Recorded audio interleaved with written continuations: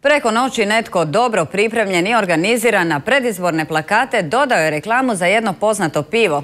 Stigla je i policija napravila uviđaj počinitelj nepoznat.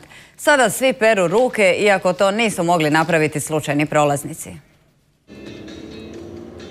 Osim što nas sa svakog ugla političari gledaju s velikih plakata, sada još i reklamiraju pivo. No ne svojom voljom, tako barem tvrde u HSS-u. Etičkom povjerenstvu prijavili su ovu pojavu. Tvrde kako iza svega stoji tvrtka Carlsberg. Naljepnice jesu naše naljepnice, dio našeg promotivnog materijala koji je već jedno duže vrijeme u opticaju, e, no mi nismo lijepili te naljepnice.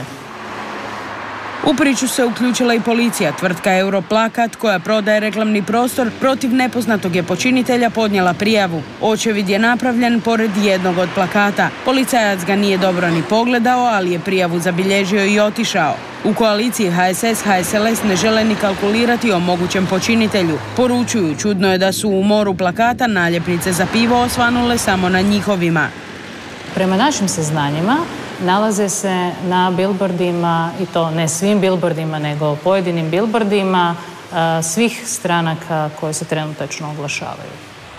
U Zagrebu HSS HSLS-a u Osijeku su navodno bili obljepljeni Milanović i Jurčić, no pivo je iz njihovih ruku uklonjeno. Reklame su jasno se vidi poljepljene uredno, svaki put na istom mjestu, a teško da iza svega stoje djeca i duhoviti pojedinci, jer obljepljivanje visokih plakata iziskuje velik trud i puno opreme.